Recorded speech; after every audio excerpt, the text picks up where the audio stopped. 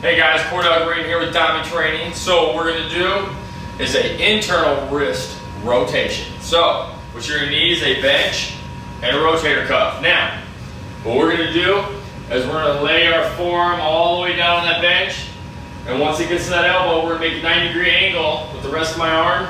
And what I'm gonna do with the other hand that does not have a dumbbell in it is I'm gonna grab at the elbow and I'm gonna make another 90 degree angle. So you're gonna see a 90 degree angle right here you're gonna see another 90 degree angle right here. Now what we're gonna do is we're gonna start with that dumbbell facing up when you're grabbing the bottom part of it. And now instead of going out with it externally, we're gonna go internally and drop it so it's almost level with that bench. Now what you're gonna notice is this is gonna be a harder one to do with that full range of motion because most people don't do this with their wrists and their forearms. So once you get the bottom, you're gonna pause, come up to the top. Now it should be two seconds each way.